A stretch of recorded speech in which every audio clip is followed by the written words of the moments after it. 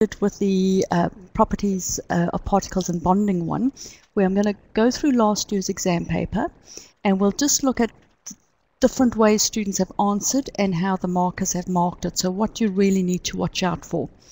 So there's generally somewhere, and it's normally the first question, some easy section on writing names and drawing molecules. So for example, what we've got there. So um, I think instead of trying to work, or actually, no, let's work it out. So what you need to do, so I'm just going to check where is my cursor there. I'm just going to take a different color. All right. So always when you start is count the number of atoms. And you'll see the people that did got excellence tended to write on their question papers. So that is the first carbon, that is the second carbon, that is the third carbon, and that's the fourth carbon. Now, why did I start numbering from the right and not from the left?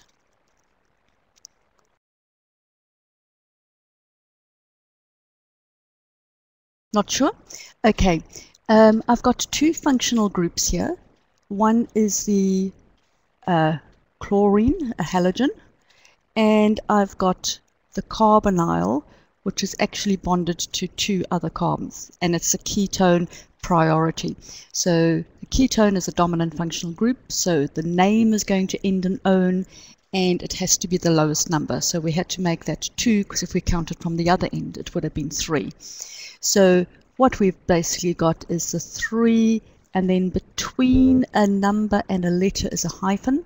So it's 3, and we've got the chloro, and then I've got four carbons in a row. Um, so it's going to be bute. Now I want to ask you, is there any other position that carbon uh, that carbonyl or ketone function can be? Because if there is no other position it can be, you don't have to put the 2 in. You only have to put in the number when there's a possibility that another isomer could form. So can I put a double bond anywhere else if the chlorine is on the third one? I can't. Because if I tried to put a double bond on here, you know, on the third carbon, to make a ketone there, it's got to have the chlorine on the third carbon. I've got too many bonds for the carbon. So the only place I can have it is on the second carbon. So we don't have to give the position of the ketone group. We just simply say butanone.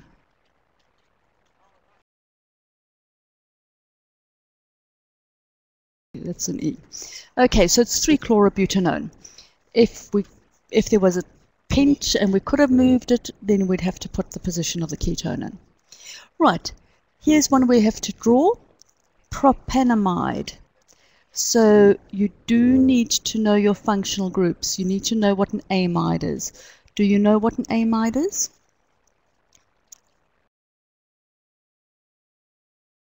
C double bond in yeah. So remember when I said amide, amine, very similar, but think of the D for the double bond. So that's where that C double bond O is. And prop means three, so start off by drawing three carbons. And the amide like an aldehyde, always has to be at the end. So you draw that in.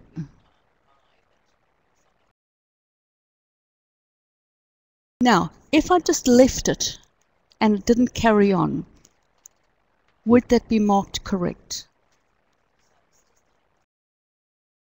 No. And the reason is I have not given every atom the correct number of bonds. So nitrogen has got three bonds, that's fine. The oxygen is fine, but the carbons have not got uh, the correct number of bonds. So I either can put in what we call the semi-condensed structural form, where we just say CH2, or we do, can do the full structural, where we'd write out all the bonds. Now, as I say, this is the method I recommend if you are not sure and you tend to make careless errors because you've got to make sure that every carbon has got four bonds and you can't give it too many or too few. Right, and then the last one is, I'm just going to change to a different color. Right, um, look always for the functional group. And, hi Jonathan. So if you look for the functional group, then, okay, you've got it there already. Well done, Jonathan. So it's an ester. So once you've got that, you need to then find out where is the, um, sorry, where is the alcohol part. And remember the bit with the oxygen by itself is from the alcohol. And that's why it's methyl, because we've only got one carbon there. And then the bit that has the carbonyl in it is the section from the carboxylic acid, so it's the end part. Because remember, carboxylic acid is always the dominant one, so that's why the butanoate comes at the end. And of course, the carbonyl is always the first carbon. So we count out like that, and well, we don't have any numbers here. So well done, uh, Jonathan. So what I'm just going to show here next um, is, and I think, right, no, I've got to go down. Here are some examples from the on the NZQA site.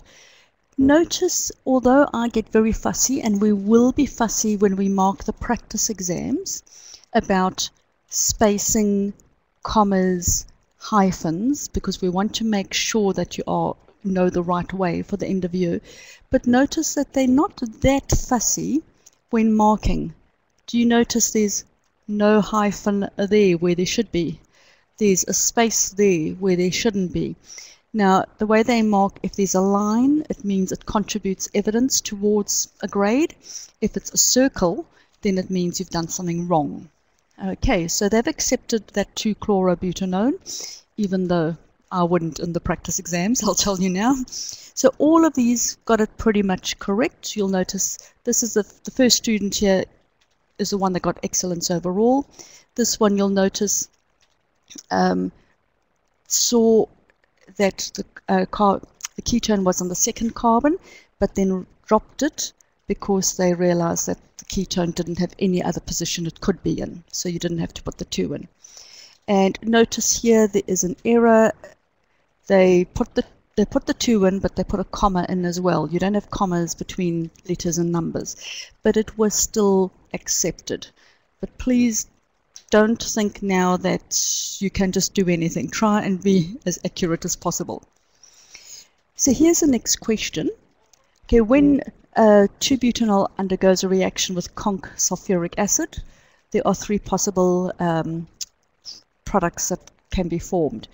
Now, when you've got conc and you've got heat, you've got very strong conditions. So what are you most likely to to get when you have those strong conditions.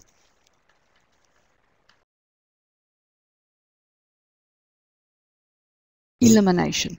It's much harder breaking bonds. You need energy to break bonds. So it's harder to break bonds and remove a molecule, like an HCl molecule or an H2O molecule, depending on what you're eliminating. Um, so you need to have very strong conditions for that. So look for those sort of clues if you're not sure. The other tip, if you weren't sure what to draw, is three isomers.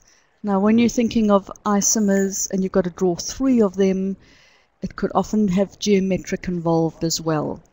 So if I just go down to what was drawn, I hope it's not too fuzzy, these pictures. So the first one did everything correct. Um, I'll just go up quickly again. Notice the position of the OH. It's on the second uh, bond. So I can either get this hydrogen that's on this carbon going, oh, I should have done the other, other way, or it could be a hydrogen on that side. So those are the two options. And can you see the, they've got They've drawn the cis. Now, although they haven't shown 120 degree angles, they have shown at least the hydrogen on the same side, so that's totally acceptable. and they've drawn the trans on this end here as well. So that's the one isomer, uh, or two isomers, the geometric ones, and there's the other isomer, where it went the other way. Do you think you would have been able to work that out? Okay, great. And you'll notice most of them, most of the students didn't have a problem. So the, the person that got excellence and merited, the person that got achieved got themselves a little bit muddled. Um, they, for some reason, decided to make it a branched chain. Um, they had the four carbons in a row. Remember the initial one was four carbons in a row and the OH was on the second carbon and for some reason they moved a carbon atom. So always make sure you go back to your original, especially if you've got a turner page, that you haven't moved a carbon atom because we haven't broken a carbon-carbon bond. Um, and let's see, what they've done here is that's a correct structure, but notice, is it the same as that one?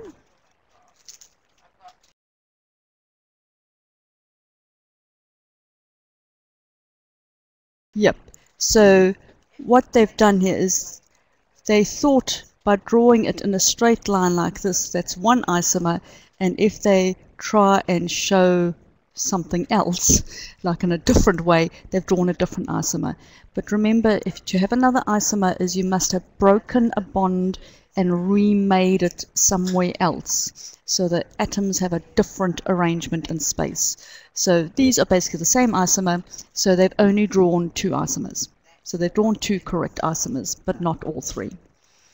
And also they've said this is a geometric isomer can that form geometric isomerism? Can it form a geometric isomer? No, it can't. And the reason being is geometric isomer can only form if the groups on each carbon atom are different.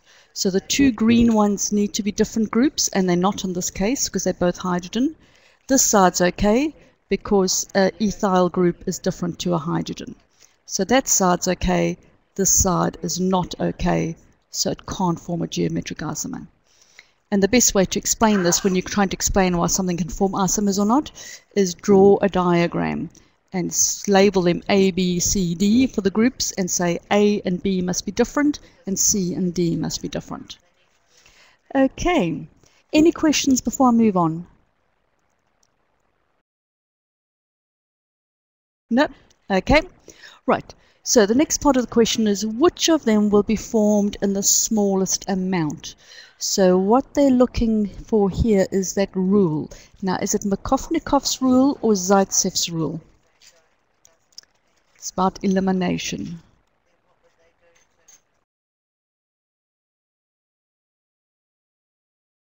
Zaitsev. The way I remember it is, uh, sorry, sorry, is A for addition has the Markovnikov rule and E for elimination has the Zaitsev rule. So A comes before E in the alphabet and M comes before Z in the alphabet. So that's the way I link them. So we're doing the Zaitsev rule because we're doing elimination.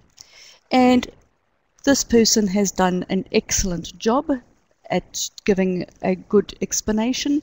So they recognizing the geometric isomer is isomer 1 and 3 that they drew. Um, and they spoke about it being an asymmetric carbon so it can form the two different isomers and and so on and so forth. They didn't actually, uh, oh, they did state uh, Zaitsev's rule the carbon with the most hyd uh, hydrogens loses its hydrogen atom. Um, well, they didn't state it directly, it was more indirectly that it was going against Zaitsev rule. So you should state that some way. But they were given, you'll see, um, and excellence for this. Okay, they had three dots there. The next one, next student also got three dots. So if you have a look, they say pretty much the same thing.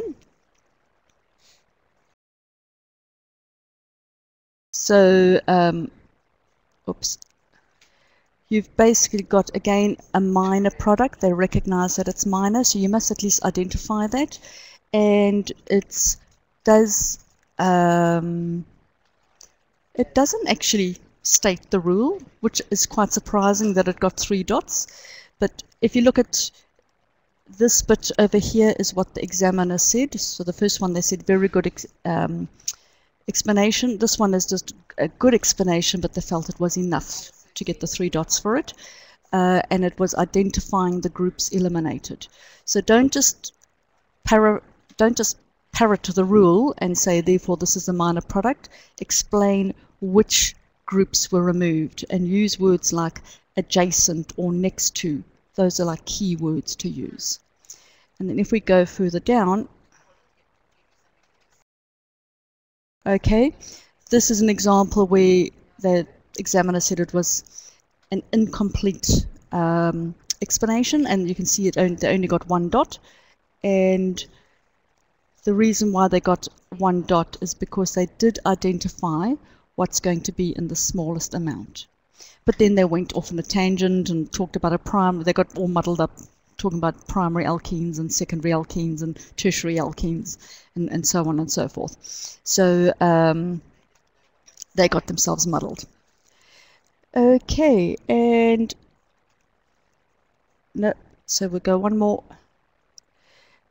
And this isn't where the student got nothings. So I don't want to go you put you on the wrong track, but um, it is better to always write something down and guess than leave it blank because you don't know if you will say something correctly. So the student at least wrote something down, but in this case they didn't. Notice, and I was actually quite surprised at this, um, they did mention Zaitsev's rule,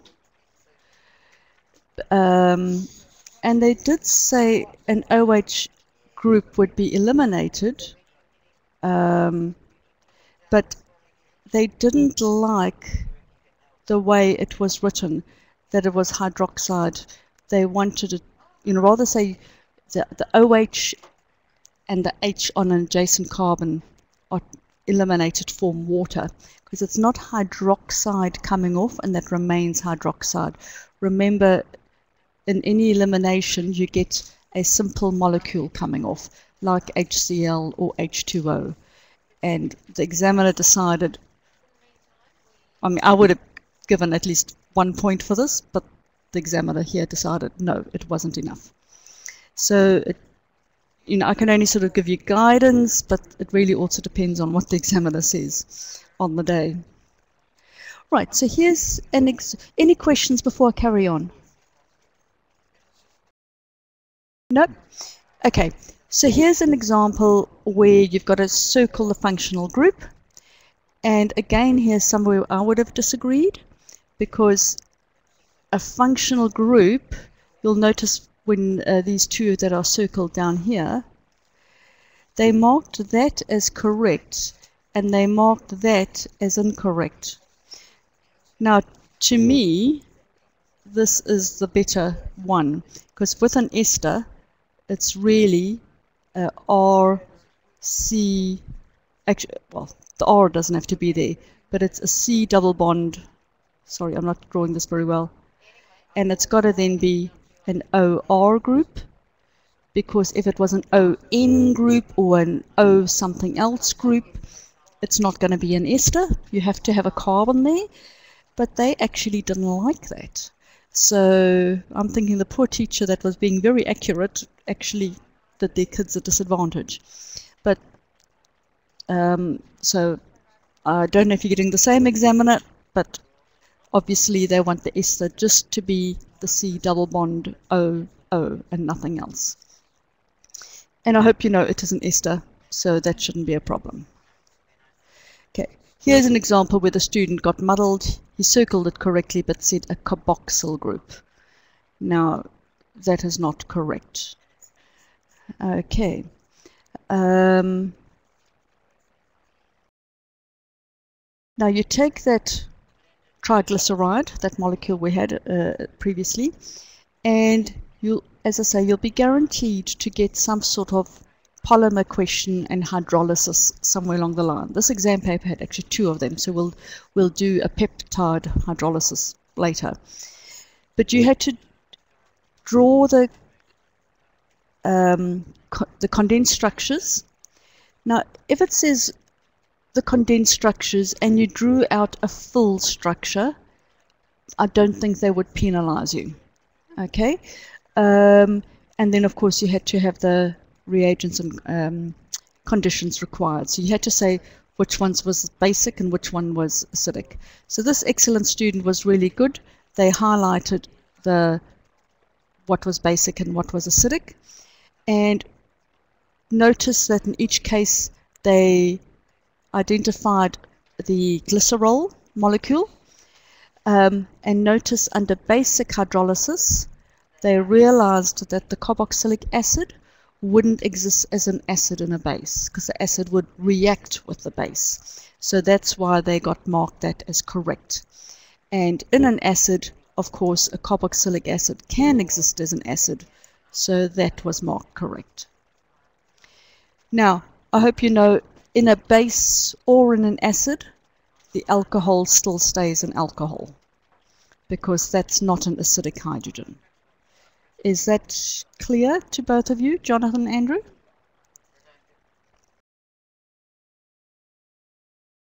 Yep. So it's just the carboxylic acids and the amine that's the acid-base problem. The others not. So that didn't wasn't a problem, and um, they got all that right.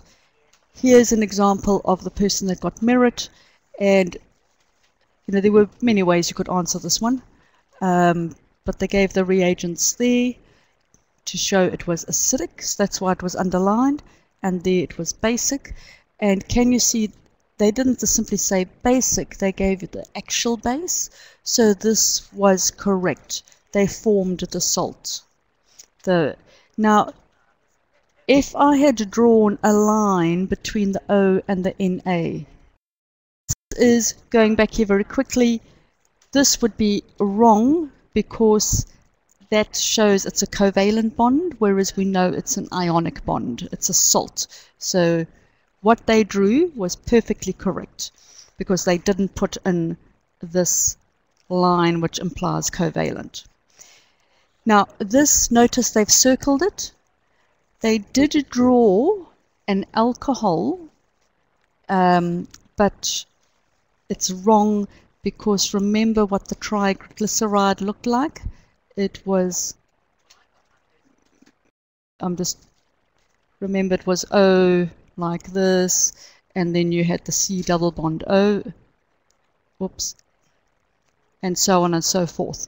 So if you cutting it up, uh, down,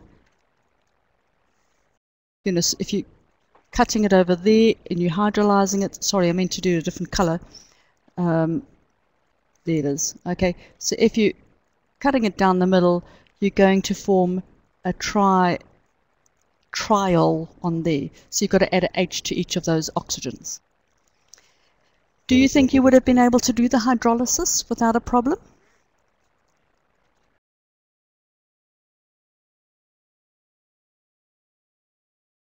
Great.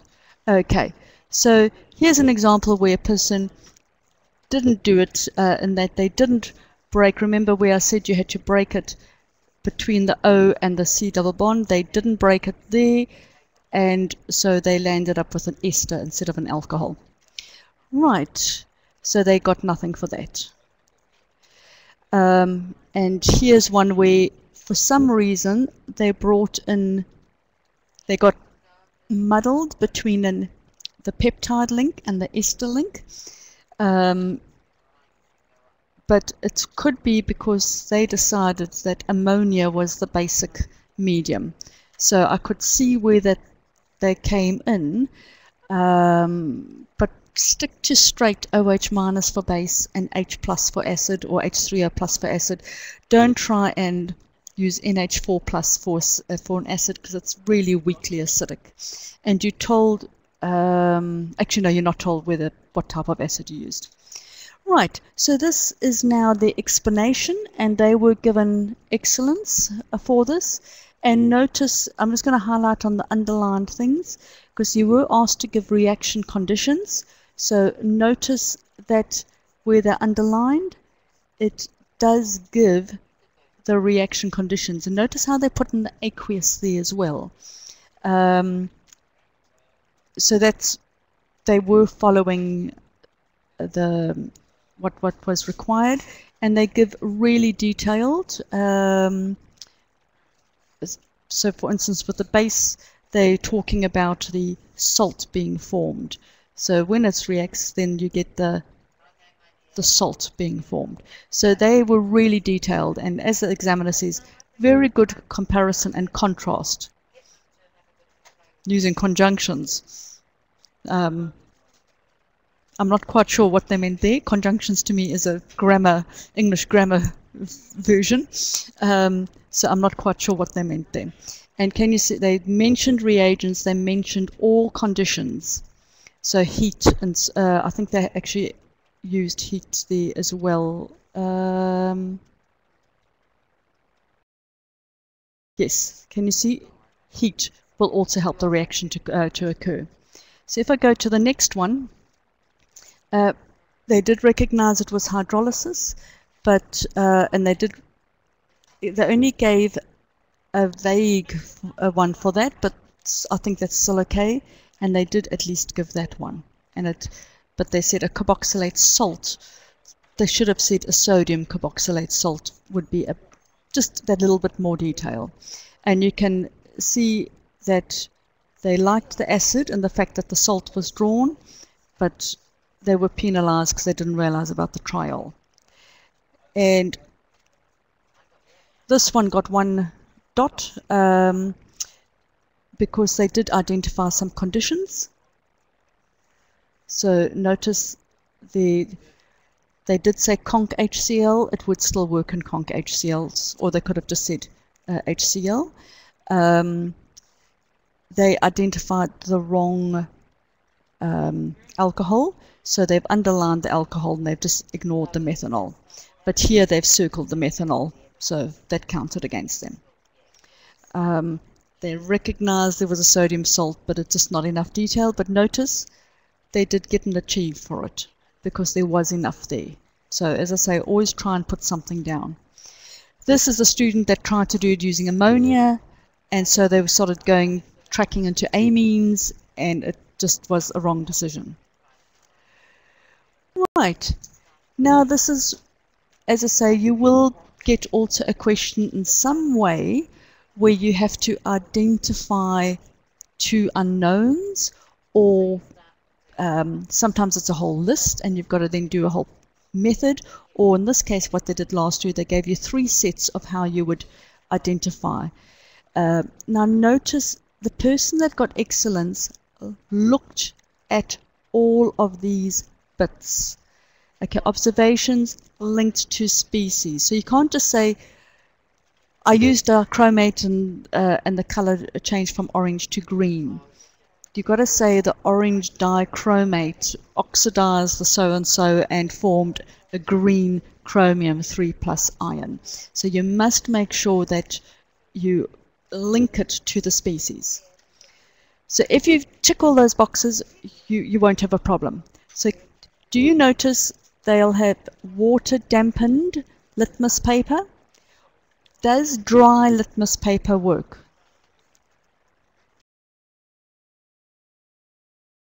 So in other words, if you don't have water present, will your litmus paper change color? No, it won't. Correct. Um, because it's you've got to form from the water the hydroxide and the hydronium ion, which latches onto the litmus molecule and changes its color. So it's you've either got to add water or you've got to dampen the litmus paper. So this person knew that, and they knew that the litmus paper would turn blue, so they've underlined that bit. Because of the hydroxide ions. So they've um, done the reagents, so water, they've done um, litmus, or you could say the water is a condition, okay, and the observation, have you noticed they've linked it to the species. It turned blue due to the presence of the hydroxide ions. And then they've done the explanation because it's basic. And they've done that. Um, so they've used the understanding also of the 3.6, um, the 3060 series. They've, they've brought a bit in here. And then prop, uh, propanamide is not basic, so there's no color change. So they did a brilliant thing over there. Okay, this one, next one says propanamine is, is basic and propanamide is neutral. So they've done that. And they've also been good. They've mentioned that it's damp. Okay. And the, they said it should turn the red litmus blue and there would be no reaction. The difference between why this one got better than that one, uh, the one below, is do you notice things? They linked the color change to a species. So that would be uh, good. Um, the next one, propanamide, it was made by adding um, ammonia to acyl chloride. You'll notice the student had nothing underlined. They got themselves uh, totally muddled. They digressed into propyl chloride, and I'm not quite sure what. They just got muddled. Okay, but at least they tried. So rather try than leave something blank. Okay, here's an example for propanone and propanal. So if I'm doing propanone, and so I've got a ketone, what is propanal?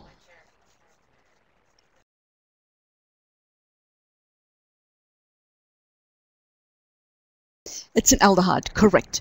So basically, the one thing you know is this propanal can be oxidized and the propanone can't be oxidized. Okay, so you've, you've got that idea, Andrew, great. And notice, okay, uh, they've done the orange dichromate turns blue-green, although they did not, uh, there they said blue-green chromium 3 plus ion. So they've linked things to the species. So make sure you, you do that if the question asks for that. And uh, they've, uh, they've given the reagents, acidified dichromate. It could work with dichromate, but it doesn't do it very well. It needs that acid to go.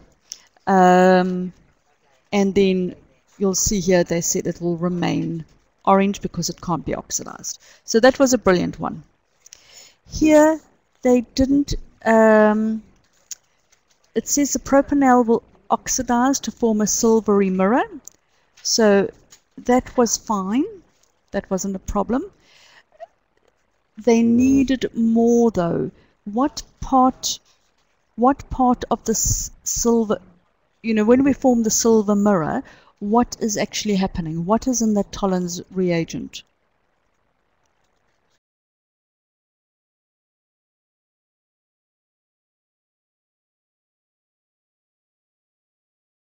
the silver. Well, uh, it won't be silver chloride. Um, you, well, you take you can start off with sil silver chloride, but then you've got to add ammonia because you've got to get it into solution. It's an Ag plus ion um, that then gets reduced to silver by the aldehyde, or the Ag plus ion will oxidize the silver. Uh, sorry, will oxidize the aldehyde. So there just wasn't enough that they asked for in the question just at a straightforward level, I mean, I would have given a for this because they got the idea that you need the silver mirror test, but they didn't get in more detail. This one got a bit muddled. He talked about Behrling's solution instead of Fehling's solution uh, over there, okay? Um, and he talked about that you had the copper 2. Um, if you just said the copper 2 ion, it doesn't have to be a citrate. You can make it as a tartrate or anything like that. But it's basically a copper 2 ion that should form that brick red copper 1 plus precipitate. So he's linking the blue copper sulf uh, copper ions, and he's linking that very nicely. Um, I'm not quite sure why I didn't have more underlining here. And then this one, they talk about the Tollens reagent. So there they underline the Tollens, so that was accepted, I suppose, for achieved. Um, and it was, they gave more observations, because you have to give observations, although that was also an observation as far as I'm concerned. And they said, gave the same thing. So the last one is propanoyl chloride and propyl propanoate. So this is an acyl chloride. What is that? The second one.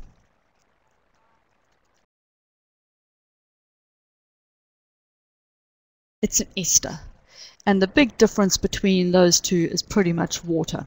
Add water, this will fizz like anything and um, HCl gas would uh, escape add this to water and it just forms another layer. It doesn't dissolve. Um, so that's what this excellent student did. Water is underlined um, and you can see the propanoyl chloride reacts vigorously with the water and it forms fumes of HCl gas. So can you see they spell out the observations very nicely and it talks about being acidic and so the water dampened blue litmus paper um, so they spelt it out. So this person got all three to detail, so he got excellence. The merit one, I mean, I didn't put them all under each other, um, but he got two. Um, the chief one, actually, they decided had sufficient out of all three. So although they didn't necessarily underline it, they thought there was enough there. Any questions on that? So you know here they said all species fully identified, they decided that the merit student had identified two sets of students, two sets of uh,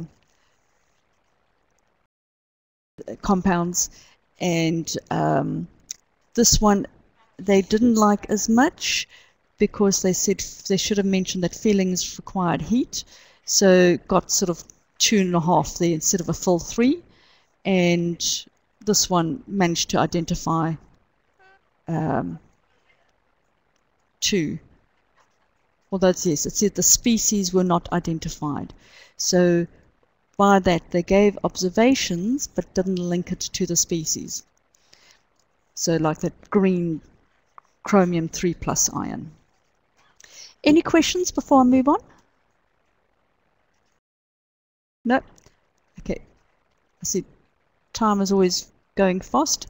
Now here's an example. I really thought something like this wouldn't come up in the new standard. So I told my students last year, oh, don't worry, I don't think you're going to get much on, on experiments. And then we got this detailed experiment thing. Now, what I've shown sort of on the lower downs from the excellent student, notice how they write on the exam paper and they're trying to jot down what it is before they turn the page and start writing the more things you write down and you get, um, you know, know where you're coming from, where you're going to, the easier it is going to, to be right a discussion. So they're starting with an alcohol, they're adding HCl, um, then they add saturated sodium hydrogen carbonate. Now, when you think of sodium hydrogen carbonate, there should be two things you think of. One is it's basic, and what is the other thing? If it reacts for sodium hydrogen carbonate, what do you form?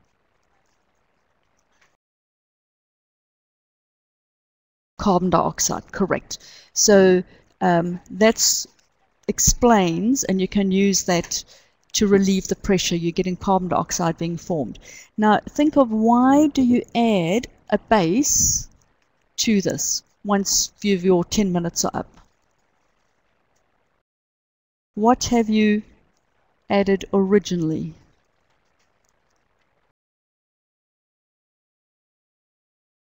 So number of you are typing to neutralize the acid. So if you get given something like this, try and you know, and you think, oh, I don't know what's going on here. Try and just sort of work it out. What do I know about these compounds that would then help you work out what they want. Um, so just think, what do I know about sodium hydrogen carbonate? And hopefully you would think it's a base, and then you can think, well, why do I add a base? It's to react with any acid. Now here's another one. The next step is involving anhydrous sodium sulfate. So if you, you know, you might wonder, what on earth is sodium sulfate? What does it do? But the clue is in the word anhydrous. Why, what's going to, if something is anhydrous, what will it react with?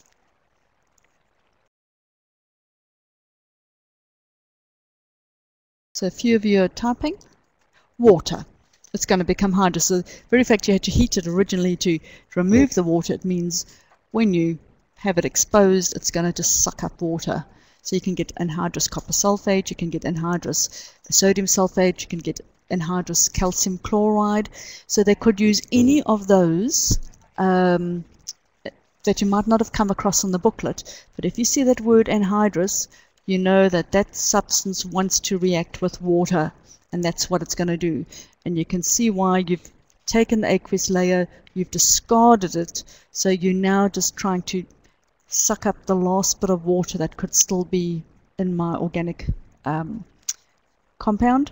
And then, of course, now you transferring, and this little bit at the end is your distillation.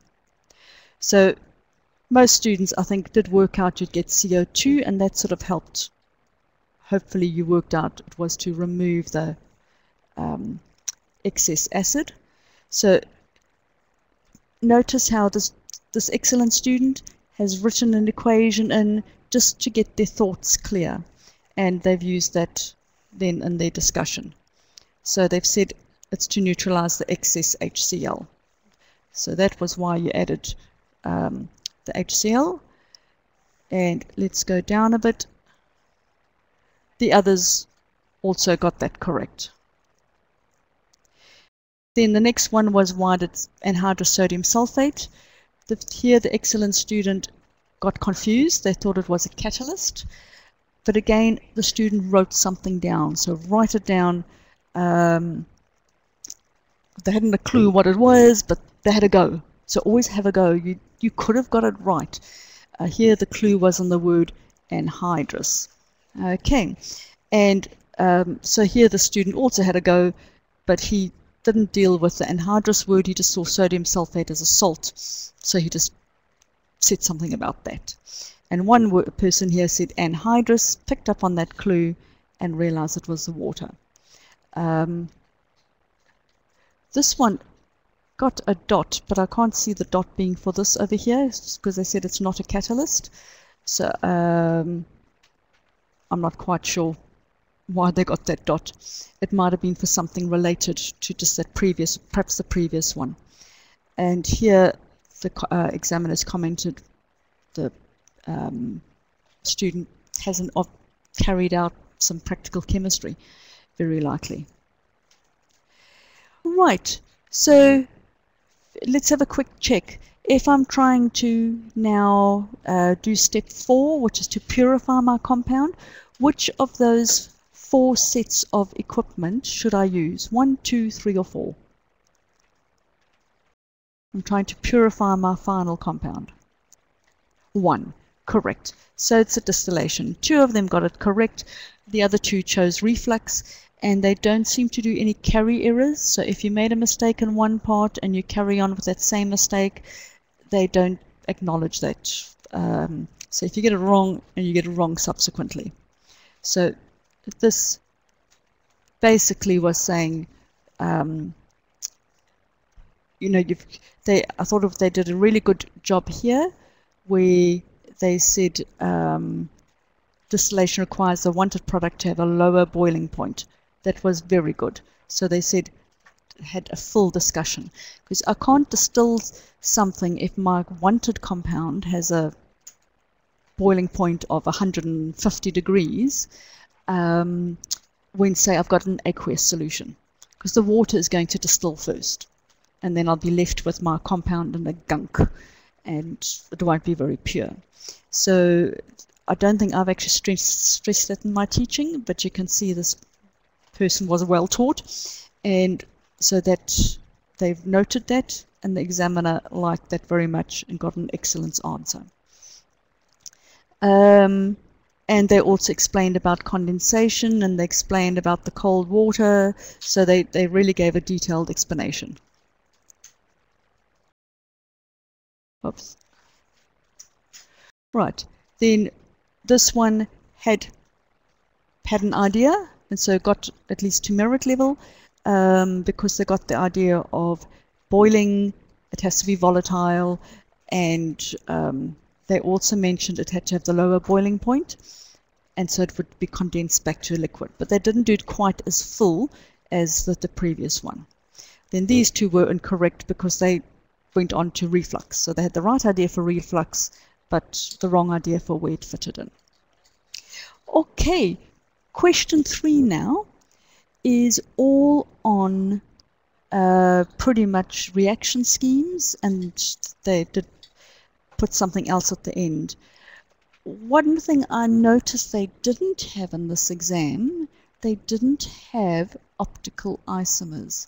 So although we say you know some things are guaranteed to come up, because I would have said optical isomers would have been guaranteed to come up, uh, there was no big issue about drawing in three dimensions and uh, chirality and so on and so forth. So none of the students really did this, but if you get a reaction scheme like this, I would, just like for that practical one, I would really use this part to try and work out what I've got. So I would draw out over here very, even if I leave out the hydrogens, but just to work out what I've got. So here I've got a double bond, I'm adding water, and so I'm going to the very fact that it says I've got a minor product means I've got two. Um, so now you've got to apply the rule. We're adding, so it's Markovnikov. So where is the OH going to add? To the first carbon or the second carbon?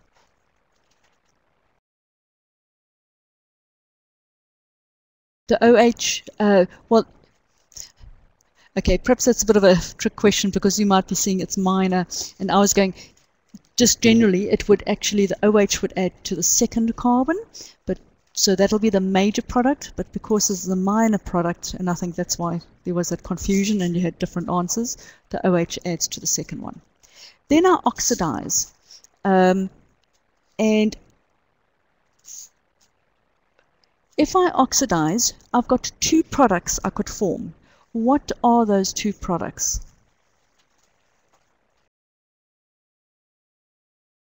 Depending on how much I oxidize it.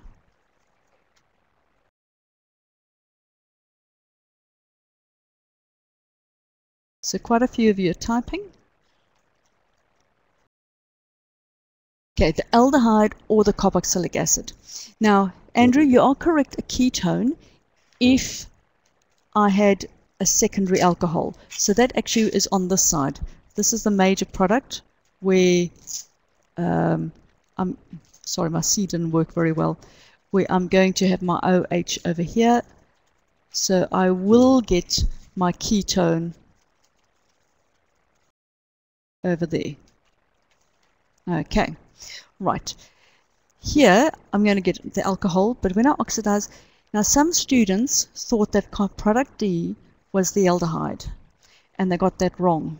Because you do need to see where the next flow is. Do you know of any reaction of an aldehyde with thionyl chloride? Or with an alcohol? Have you, if you don't, that's right. So you, you haven't learnt any of those reactions, so you know it can't be the aldehyde and that it must have gone all the way through to the carboxylic acid. So you've now got over here your carboxylic acid. So just as I say, you can just sketch it out as you're just trying to see where to go. Because if you carry on with this continuity, you'll get an idea of where to go. So if I have an ester and I add my alcohol A, um, so there are my three carbons,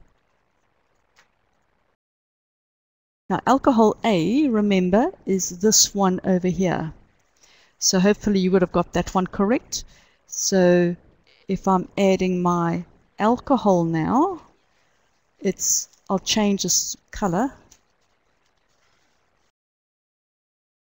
So I've got that's the carbon the OH is added onto. So I'm going to draw that carbon. And then I've got to add my other carbons to it because I've got one on each side there. So I've done a double thing. But can you see how I landed up with that? So these are, say, are sketches.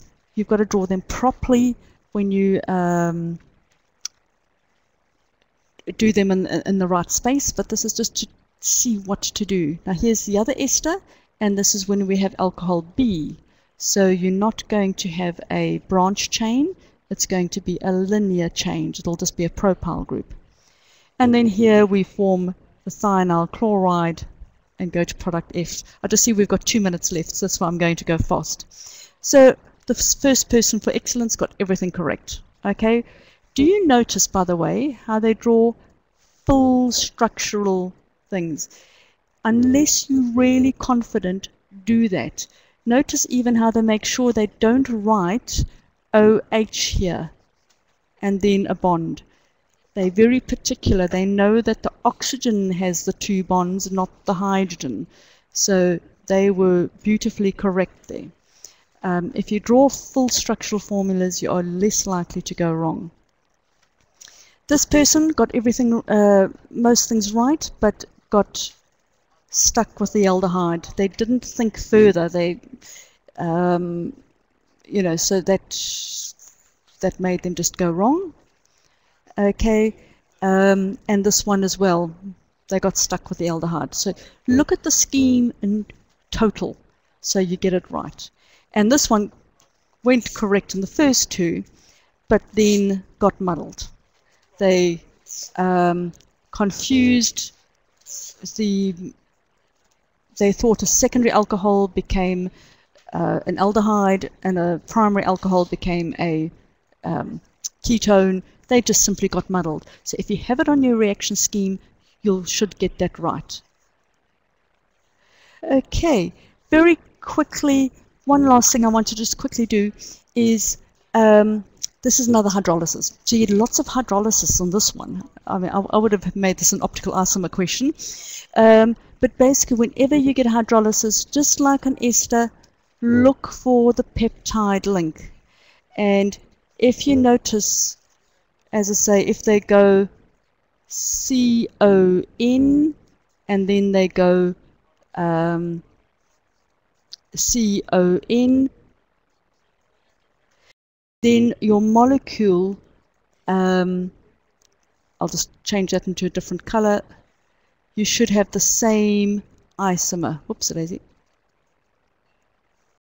Sorry, that, that went wrong. But anyway, I'm running out, out of time.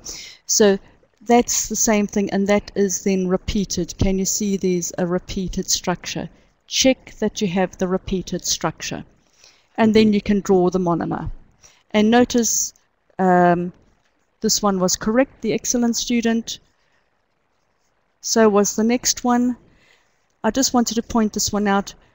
This person had the right idea and then did something silly by giving nitrogen an extra bond. That's why writing it out in full is good because you know nitrogen should only have three bonds and not four. But notice the um, examiner did not penalize them for that. Notice also, and again, I'm very fussy, you make bond between the bonding atoms. So I would draw it between the two C atoms, not between the C and the H, but they weren't penalized. Here's another one where I will certainly mention if you do it in the practice exam, because hopefully you'll do the right thing in, in, when it counts. Okay, and then, as I say, we're over time now, so I'm going to stop. Um, but you can go online, and if you want to see how the uh, there's, as I said, excellence, merit achieved, and so on, um, did, then there is also the examiner's comment. So it's a very good discussion. Okay, it was missing heat, so he got an E7 and not an E8 because of that. And then basically, most people didn't do very well with hydrolysis. So, so hydrolysis is guaranteed to come up. In this exam, it came up twice. Any questions?